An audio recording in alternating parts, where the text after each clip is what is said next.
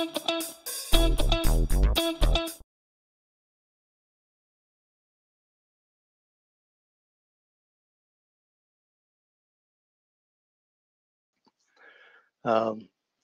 hope everybody's having a good Apache Con at home.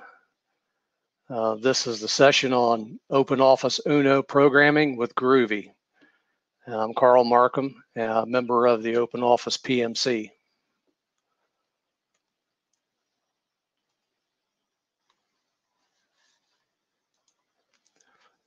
So uh, a little bit about me. Um, I come from a manufacturing engineering background. Um, about a year ago, I made the transition from manufacturing engineering to uh, working in engineering IT at Emerson Electric, uh, where I've been for the past seven years, where I get a chance to do uh, automation on 3D uh, CAD applications and support our uh, PLM system also.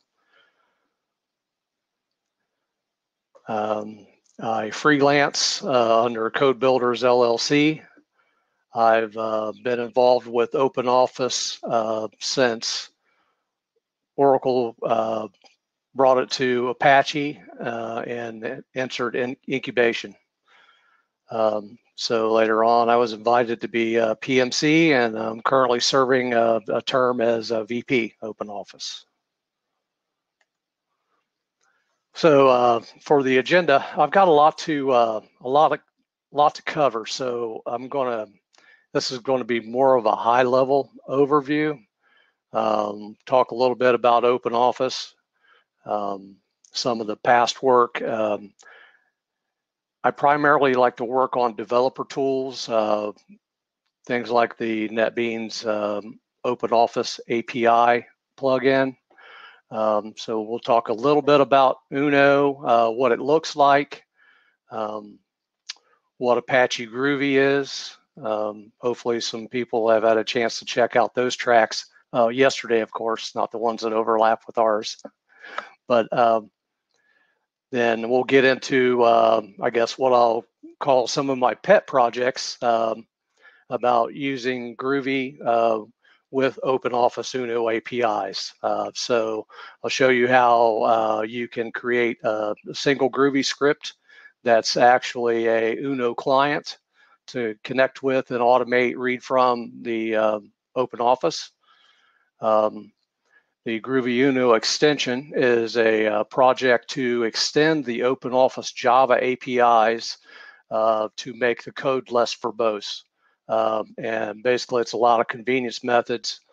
And um, then, like I was talking about, the uh, the NetBeans plugin, uh, I've worked on some project templates that you can use uh, from the command line. And uh, so we'll then we'll go into an example of that. Uh, Calc is our spreadsheet application, so I'll build an add-in uh, to add uh, three new functions to the to the office. And uh, then finally, I'll wrap it up with the um, an extension that adds Groovy as a macro language using the Open Office scripting framework. So, and then uh, hopefully I'll have some time for some questions. So, um, what is Open Office? So, for those that don't know, it's a fully featured Office suite, Office productivity suite it runs on um, all the major computer platforms and um, and quite a few languages. Uh, I think I was told today uh, over 40 right now. So uh, what would you want to use Open Office? Well, uh, besides being uh, Apache licensed, it has a uh, well-documented open architecture um, it has a great extension me mechanism that uh, we'll talk about uh, quite a bit, and uh, that allows you to add or remove functionality from the office um, as you like. Uh, like I said, uh, calc add-ins for adding functions to um, adding or re replacing the save command. You know, there's it's unlimited what you can do. And then we'll talk about the uh, scripting framework, uh, which uh, right now Open Office uh, supports um, scripting in a, a, number of languages, Python, then there's Java languages um, like Bean Shell and JavaScript.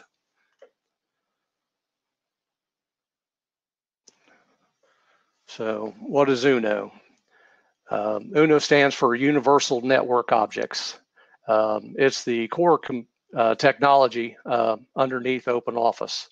Um, it's it, the way I look at it is uh, it's it's the specifications and the API for uh, automating OpenOffice.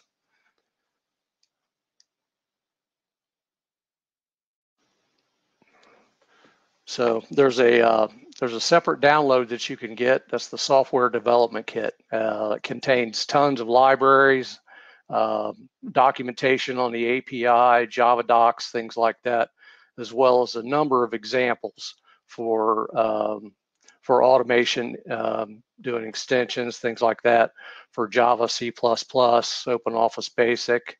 Um, there's even some support for the uh, .NET uh, CLI applications and a couple examples of um, ActiveX and uh, VBScript.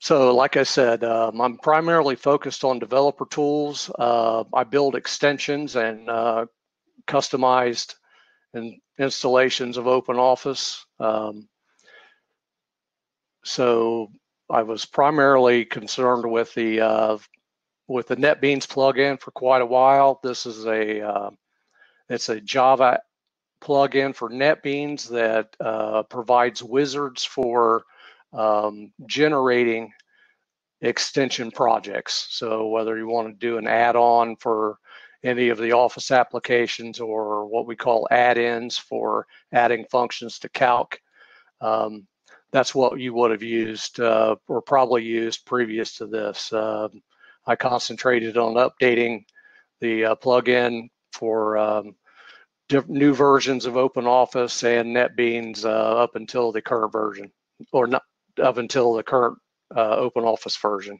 Uh, that's not the current NetBeans version, but the plugin does still work even with the newest releases of, of NetBeans.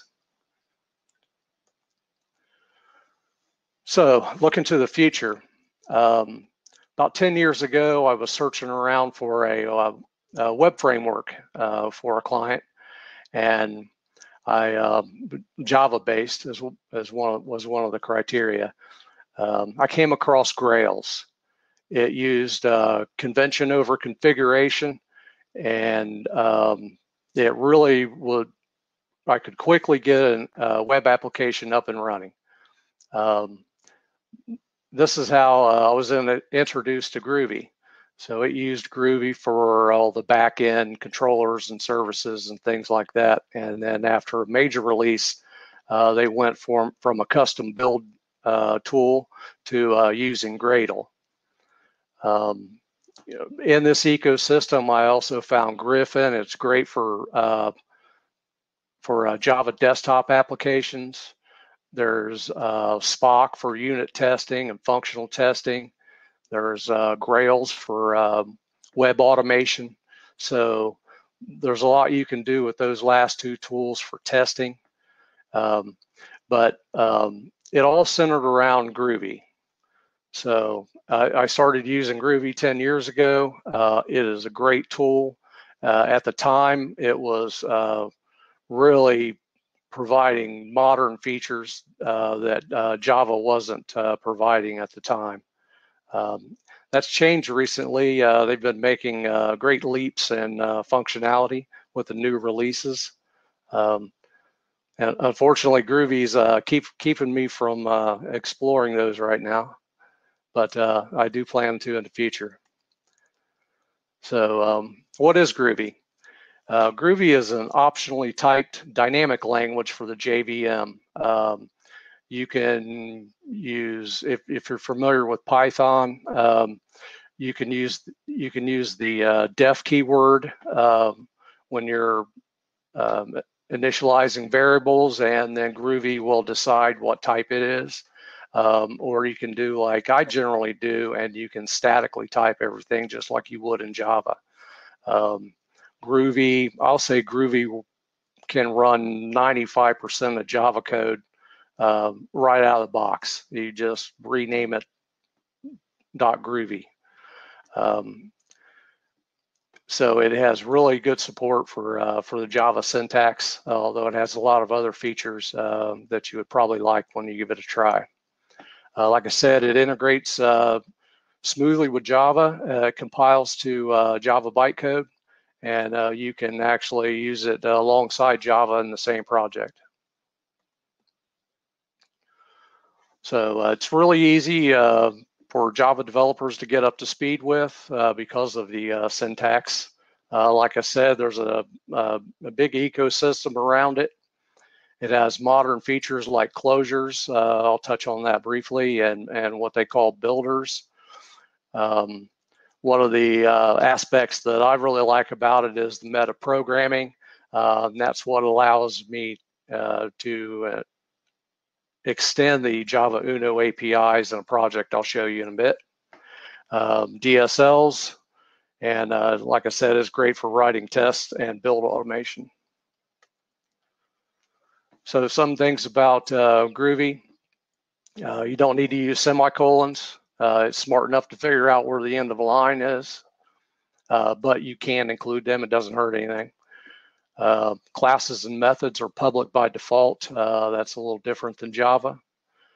Um, when you're uh, when you're setting pro or uh, creating properties, they're actually private fields, and it will create the getters and setters for you without you specifying them, unless you need something that you don't get with the defaults.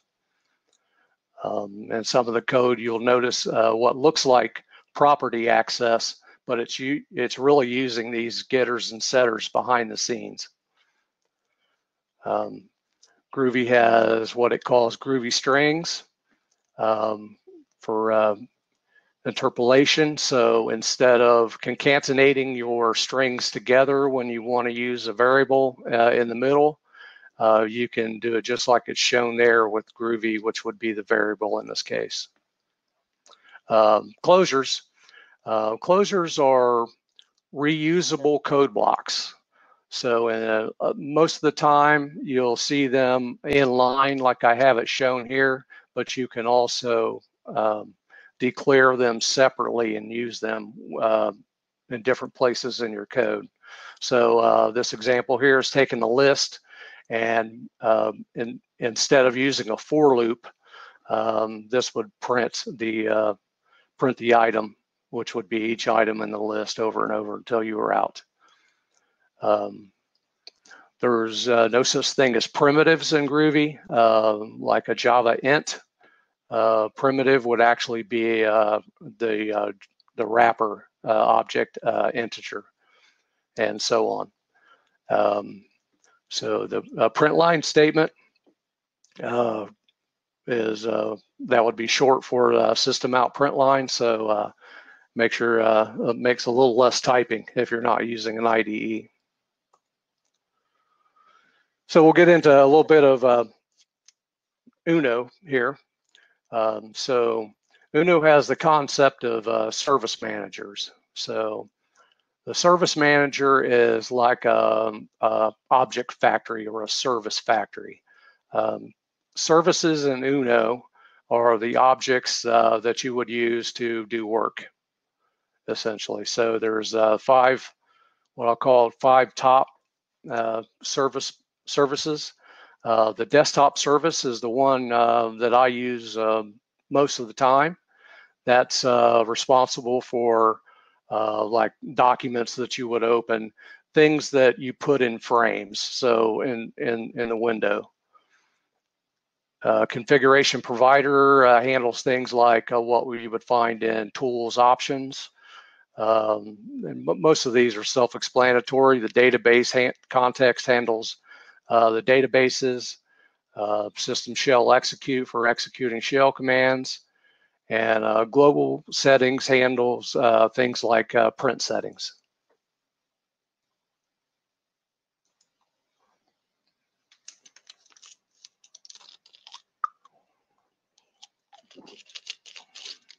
So Um, services and interfaces.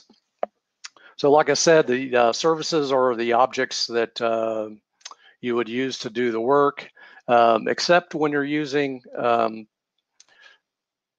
uh, Java uh, and the um, for Uno. So you have to use the interfaces that are um, provided by the services. So uh, in this case, I wouldn't use the Office document or the spreadsheet document there on the left. I would be using the model storable spreadsheet document. Um, the interfaces all start with an X, so they're not confused with the services. So uh, like in Java, where you would normally use a uh, the new keyword to create objects, in Uno, um, once we get a service um, from the service manager, uh, we start using the interfaces. And to get from one interface, which is the interfaces are, um, I guess, um, fine grained. So uh, they're designed so they can be reused in other uh, places like uh, lots of applications deal with text. Uh, so you might have might use text in a spreadsheet, you might use text in Writer, things like that. So they try to uh, make it so you could reuse it. Um, now, the other tricky part is when you go uh, when you start, well, say with a model and you want to save it. Uh, so you would need to use the storable, for instance. So uh, you have to use the static uh, UNO runtime class and query the interface. So uh, you'll see a lot of uh, this query interface um, in a in a Java UNO application. So you do the query interface. You the target is the one you want, and the interface you want, and the source object is the one you already have. So uh, that'll be important here in a little bit. So I'm not, I'm not going to try to do a big deep dive in a lot of this, but uh, this comes from our uh, our developer uh, developer guide, and it's also in the SDK documentation. This is what the, we call the first contact. So this is the very beginning of the like tutorial, we'll call it. So uh, I'll just step through it uh, and give you a little flavor on, on what we do in almost all these applications. So that would be like a typical client application. So uh, the first thing we would do is get a uh, component context. So that's kind of like a base object um, that we get from the connection. So the bootstrap uh, method that's shown here is um, how we if, if open office isn't running it'll fire up open office and make and make a socket connection and uh, give you back a uh, component context. I call it the remote context because there's actually op, um, objects on both sides of this um, because it's like operating over a network. So your client has the remote context and the server, which is open office, would have the local version of that context. So after you've bootstrapped the office, then um, next thing you want to get is this uh, service manager uh, that we were talking about. That's our factory. So we get the uh, we get the service manager uh, from the remote from the component context or the remote, version of it. And the next thing we do is um, that if you remember that top uh, level service, the desktop we talked about, um, that's what I'm getting here. Now I don't have an uh, implementation of that to really use. I'm just getting a reference to it. That's why it's an object um, and it doesn't have a static uh, interface name or type. So uh, I'm going to use that remote service manager to uh, factory up the object or the uh, the desktop and then I'm going to use that desktop. Here's that UNO runtime query interface for the first time and I'm going to use that desktop to uh, ask for a component loader. So the component loader is what I use to actually load the file.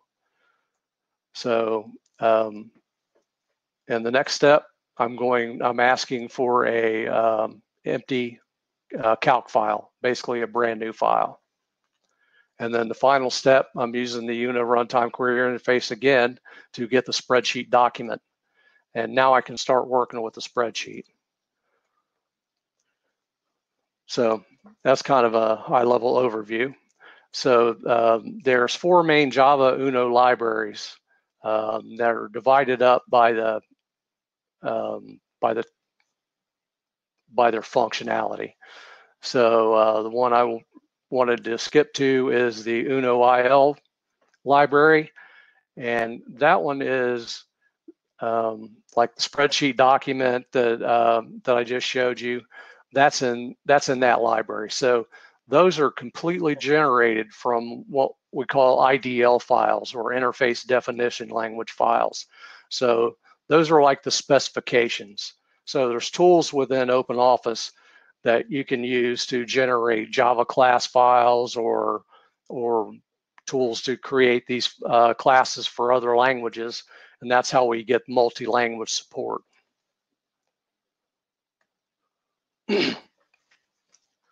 so uh, first, uh, the PEP project. It's not really a project, I guess, but uh, the project was in getting to where you could use a Groovy script to to build a create uh, a complete um, client application. So uh, some of the things that, uh, make that possible is uh, Groovy has a built-in dependency manager. So in a lot of um, modern build tools, uh, Maven, Gradle, things like that, um, they can pull down jars from online um, artifact repositories like Maven Central or Bintray. So Groovy, a Groovy script can do this using the at grab annotation that you see there. Um, the Bootstrap connector there is a special uh, library that is used for uh, bootstrapping the office based on a file path. So in uh, traditional clients like created with the uh, NetBeans uh, plugin, that um, there's there are special classes for discovering uh, where the office is. Like it'll look through um, standard directory uh, directory paths, um, depending on whether you're on Mac or Windows or Linux. So, and then or it could search the class path, looking for jars, things like that.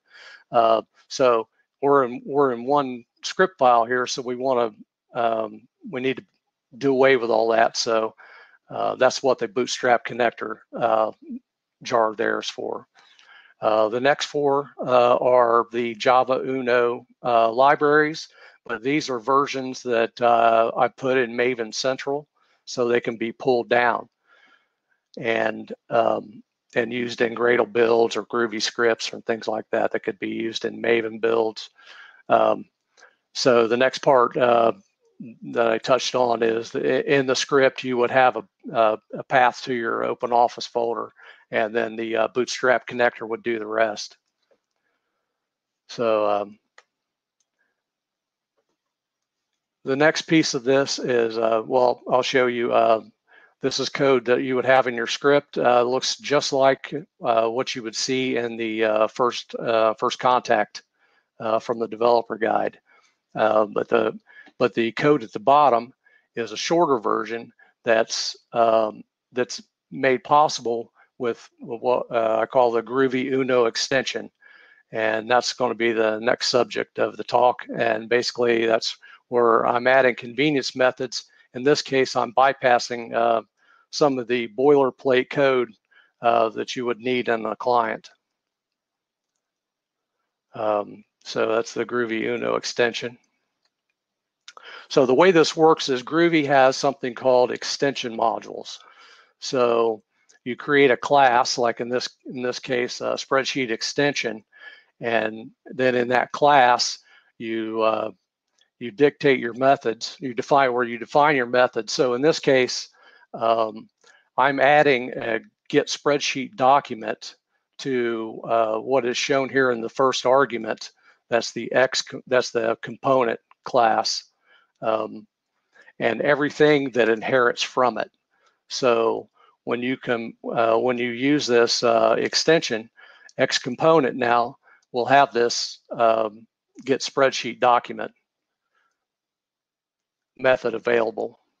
And it does, and Groovy does this at runtime. So it instruments these classes um, at runtime. So, uh, so basically this is just a little diagram of what we're doing here. Uh, the Groovy Uno extension is using these API or the, these libraries and adding convenience methods. Uh, most of what I have so far um, deals with the spreadsheet APIs, uh, but I plan on um, adding more um, as I go, and hopefully um, people may be interested in this after after this talk, and uh, maybe jump in and help. So uh, enough about that. So what we'll uh, show a little bit about um, some other things, uh, like I talked before, the query interface um, used all over the place in uh, Java Uno programming. First thing I wanted to do was kind of not really get rid of it because it's still in the lot used in the library, but uh, get rid of a lot of the uh, ver verbosity of it. So uh, I replaced that with a method uh, called Guno. So you'll see in the uh, the bottom of that uh, section there, I'm using I'm using that method and I'm using it on an instance of the uh, object that I have. So I'm not using it as a static UNO runtime method. Um, I'm actually using it on the uh, on the object itself and passing it the uh, class that I want back. So that makes it a, a little more straightforward. So another thing uh, in UNO is um, to get uh, properties of a lot of these objects, uh, you use what uh, they call a property set. Uh, so you would set property value, get property value, things like that. One thing I've done um, that you can, I did using Groovy, is I also added uh, get at and put at methods, which those are special names um, by doing that, using those special names, I'm add I'm able to add this use the subscript operator, as Groovy calls it, like down at the bottom on the last line, which looks like map or collection access uh, in Groovy. So uh, those four methods at the top um, are also added. So those are convenience methods that I've added uh, for uh, setting and getting cell contents. So um, instead of having to get the cell range, uh, get the cell text, uh, and then setting the setting the string on the cell text object, I can go right from the spreadsheet um, with a um, with the coordinates of the cell and uh, put you do the set formula of cell, which is the name of the uh, the new method, uh, right there in one line. So uh, it's four lines down to one. So I won't go through all, all of what this does, it's just a little larger example to, to uh, kind of uh, illustrate um, how much shorter your your code can get with methods like this, uh, with using convenience methods and the Groovy extension module. So one of the other convenience methods that I've added is message boxes. So uh, the, the code at the top is an example of uh, displaying a message box that's shown on the left. Just a simple, just one simple box and look at all the code. So uh, I wanted to improve on that. So um, I've added some convenience methods for uh, displaying that message box. Um, the next slide is a little more uh, involved example or a little fancier box uh, that has uh, its default title. It, uh, it has a custom title and uh, some more of the standard buttons, button arrangements that we would use. So um, this isn't uh, this isn't part of the extension, but uh, one of the things that uh, Groovy also brings to um, to programming is um, when you're using uh, Java Swing, which is uh, for those that are Java developers, Swing was the second generation UI toolkit after uh, AWT, which was the original toolkit, which was more heavyweight. Um, Swing is a little lighter weight. So um, one of the uh, one of the harder things that uh, especially new developers uh, deal with on working with Swing UIs is getting the um, what we call the uh, event dispatch thread, or uh, so you don't block your program with the UI. So um, this Swing Builder here um, handles that with the uh, the .edt method there, so it automatically uh, generates the bytecode correctly for you to deal with the uh, the threading issues.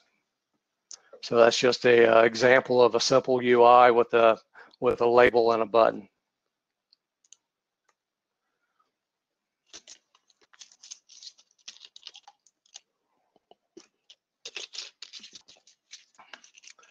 So the next thing I want to talk about is the um, the project templates.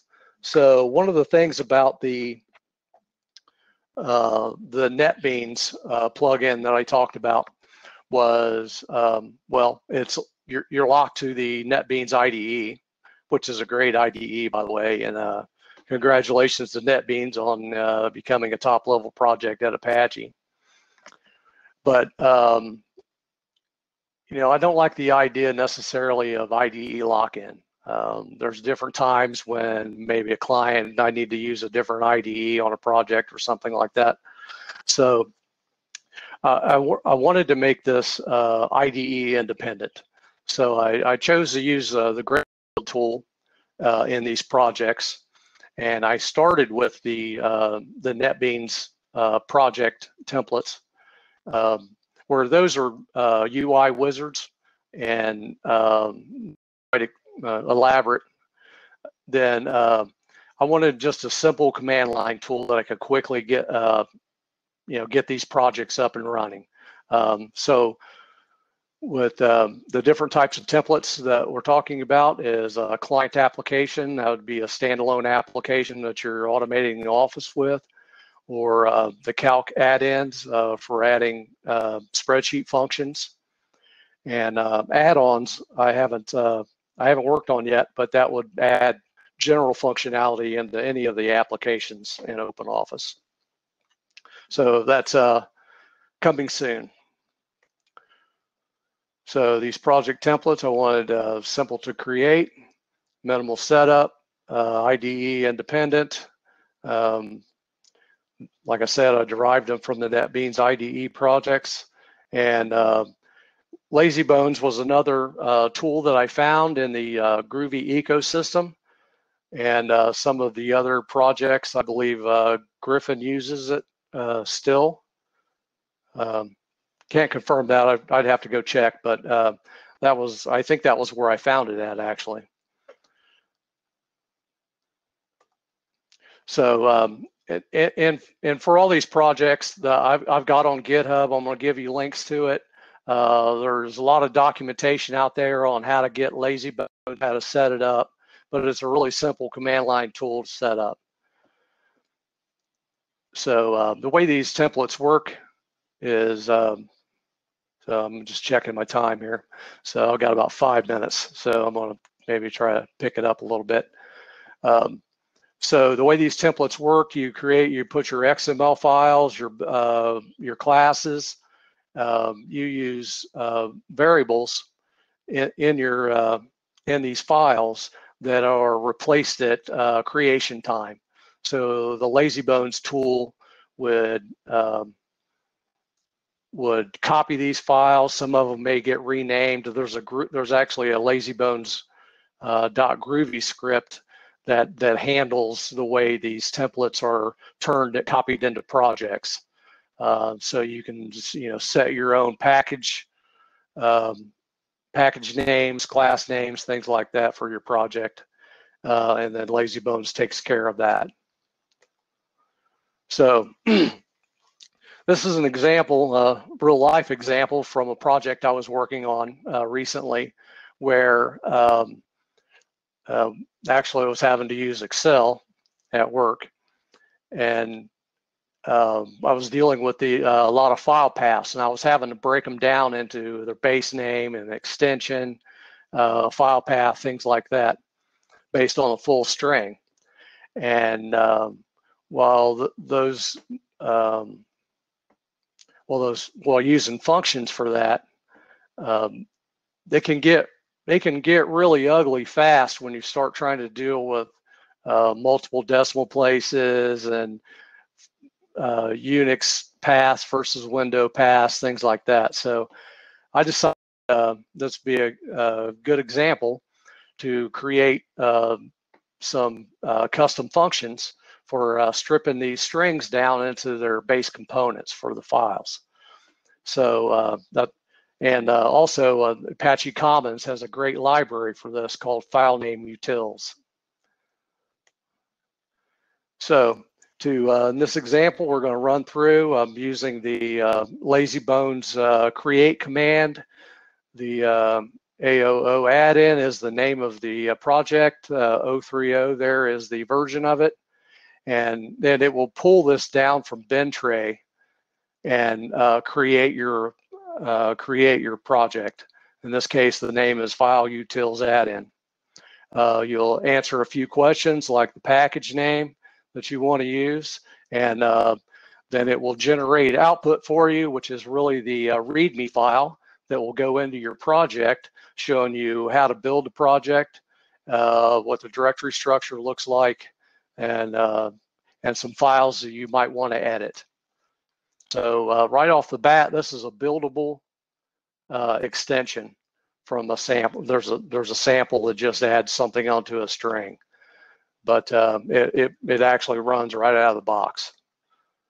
So we'll just uh, jump through this real quick. Um, so in in the build file, you um, in the dependency block, I added the Apache Commons IO library and uh, there's a lot, the IDL file and, and the uh, template uh, defines the uh, three functions as the, well, the interface definition for them. Uh, there's an implementation Groovy script where I go in and replace the sample method that's in there with the three new methods that I want, and I import in the file name utils. Um, there's a, a XML file uh, that's for the open office extensions that describes this extension. Uh, edit your lines there. Uh, there's also another XML file for description information, in this case, uh, logos and things like that, the display name and uh, the extension manager, and the display description in a file. So uh, then you build the file using the Gradle build tool and this zip is the task or the target. And uh, we're actually using uh, Gradle's built-in support for uh, Ant tasks. So I copied a lot of Ant tasks over from the NetBeans uh, plugin for this task for generating these classes from IDL files and things like that. And uh, then we have a, then after we run the build, um, this would be the build the build tree, uh, the classes that are compiled by Ant and the classes that are compiled by Groovy or Gradle, and um, the uh, jar files, and then all of it packaged into the OXT file, which is our extension. Um, so that's what it looks like in the extension manager. And uh, the next part of the talk is, I know I'm running out of time. Um, Groovy macros in Open Office. So this is another extension um, that when you uh, import it into the Office, it's going to add Groovy as a macro language. So I'm using the scripting framework that's already in Open Office to, because um, there's already support for Bean Shell and JavaScript. It was um, it wasn't that bad of a task to use the Bean Shell example that's built into Open Office to uh, add Groovy. So it uses the Groovy shell class to um, to do the script or to evaluate the scripts. And this is an example of creating a new script. And then you get a uh, boilerplate uh, hello world file macro um, where that's the, uh, know, this automatically comes with the Groovy Uno extension built in also. So one of the advantages to macros is you already get the script context shown over on the right. So that saves bootstrapping, getting that component context and all that. Um, and lets you get right to business. So uh, there's uh, just some simple lines in this. And this again, this macro, when you first create a macro, it, it's a running hello world application. And then the, also in that macro, there's lots of help text um, uh, for finding the developer guide and going to finding information about Groovy, etc. So the um, then I've also got another extension that adds uh, a lot of the sample macros that come with OpenOffice that are in Bean Shell and JavaScript, and uh, I've recreated those in Groovy, and then you can add all of those at once using the extension mat extension manager in OpenOffice. So the um, the downside of that is that you can't edit them because it comes in with an extension. It's still packaged in an archive. So I would actually suggest going to the GitHub page and copying and pasting the code from the uh, that project into your newly created uh, scripts, and uh, that way you can play with Groovy. So in summary, uh, OpenOffice is highly customizable. Uh, Groovy has great capabilities to improve UNO programming, and there's efforts underway to improve it even more. So uh, I hope you'll uh, come to uh, OpenOffice and uh, join us on the developer list. And um, you can also uh, download uh, some of these pet projects of mine and contact me if there's any questions about them. So I've got a set of links uh, toward the end. open office, Groovy, uh, links to everything I've talked about here. And uh, I really appreciate everybody for joining. Um, I know I think we're, oh, I'm over time. So uh, I uh, do, I'm sorry I don't have time for questions, but uh, let's see.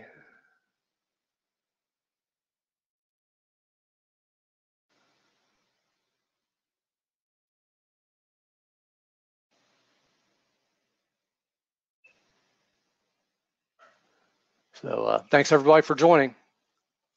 Um, we'll see you at the next talk. Bye.